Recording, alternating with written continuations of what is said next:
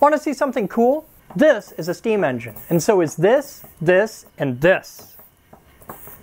A lot of you freaked out over my little model steam engine, so I thought I'd take a moment and share this big one with you, even though she's not quite ready for prime time. I grew up in a machine shop and spent my childhood standing in a pile of chips, slowly turning handles on a murderous German Etch-a-Sketch, while I learned lessons in how to painstakingly create expensive scrap metal from perfectly good brass, bronze, and aluminum. Time spent in my dad's shop is the greatest memories from my childhood. Teach your kids to use tools. I'm still making steam engines to this day, and I just got this one a few months ago. The one thing that really makes it special though, is that I got it from my dad.